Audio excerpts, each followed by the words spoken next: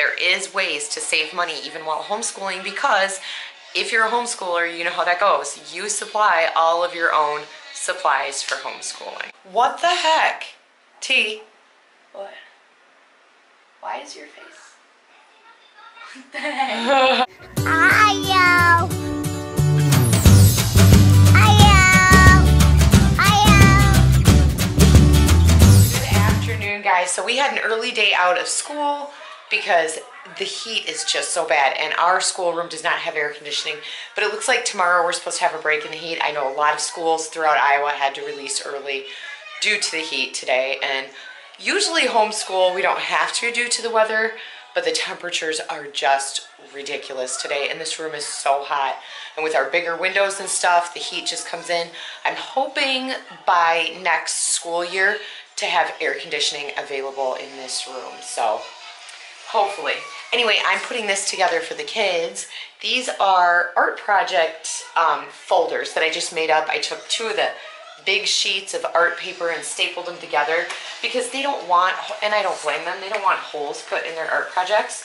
And then they can just, to like have them put into their binders, then they can just slide their art projects right inside the folder and we'll keep those ongoing for the year. And I usually put on the back, I have them put their name on this one. I didn't have to have Braxen because he put his name on it. But I have them put their name on the back and then I put what project we were working on. So this was for their complimentary colors. And I'm going to show you Zane's today because he did finally get his done and it's it's super cute. He did a great job on it. I was really impressed with how each of the kids like Zane and Ireland did the same thing, but they did two completely different projects, even though it was the same thing. And then Braxen did, of course, the middle school level of what I would have them do for this. So I was just, I like to see what each of the kids came up with when working on the same type of project. And I just wanted to let you guys know, if you noticed I haven't responded to any comments in the last couple of days, I do apologize. I will be getting to your comments today. I try to do them at least once a day and respond to comments, but with everything going on for Braxen and trying to get things prepared, I just didn't get a chance to sit down. So I will be getting to your comments today. Don't think that we're not seeing them because we are. I just haven't had a chance to respond, but I will do that. Anyway, Matt found a website for me that I'm about to go on here um, because, of course, our kids are homeschooled, so there isn't any like funding or anything for like that. That's all done through us. So our supplies and all of that stuff, that is done through us. So I'm always looking for cheaper ways to come up with like getting supplies and stuff like that for the kids, especially the ones that are really consumable. So like our construction paper, our regular loose leaf paper, pencils, pens, glue, all of those things we go through a lot of. Um, you'd be surprised. School glue, like, okay, school for us hasn't even been in session for a full month. We're on our fourth week right now of school. So we've already gone through, if I combined the two bottles of glue together that the kids did, we've already gone through one full bottle of Elmer's school, or Elmer's, of school glue.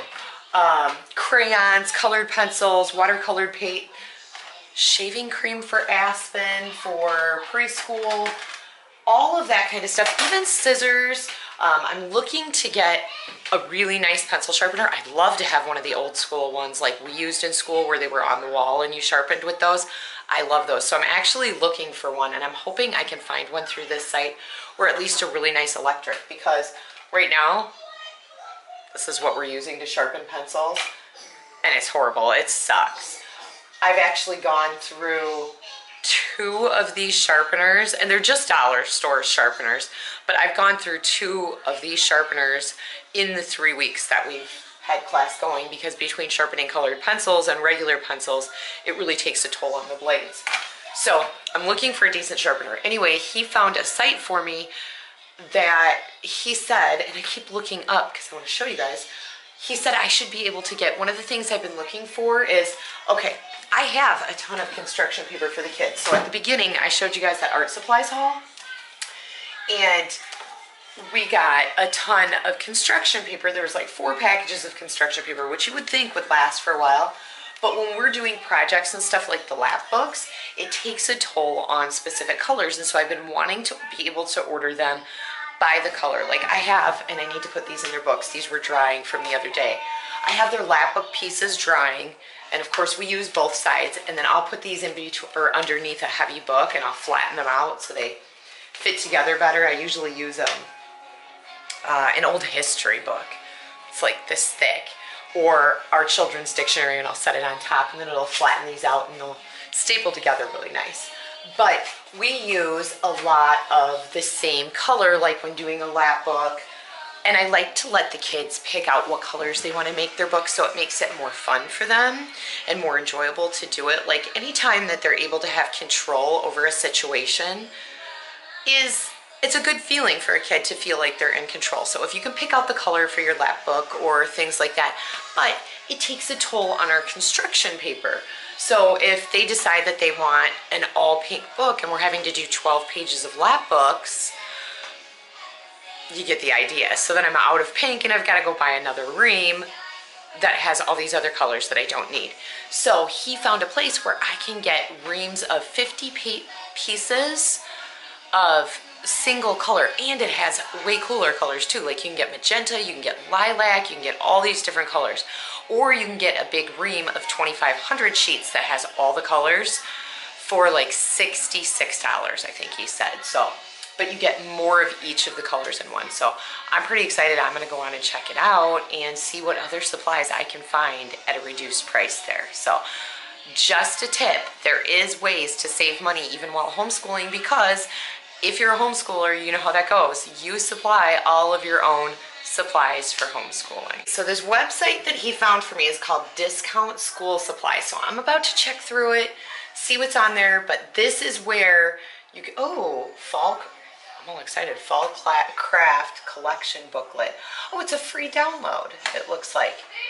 Cool. So it looks like this is geared towards like towards classrooms and homeschoolers. Yeah, you want to draw, man? Guys, so this is just not a normal vlogging day for me.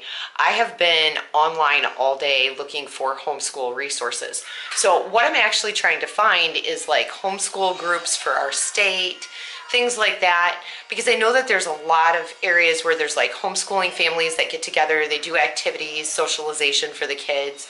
Um, I'm also looking into different sports and stuff so that they have not just socialization among some of the few friends that they have, but an opportunity to socialize in a broader spectrum.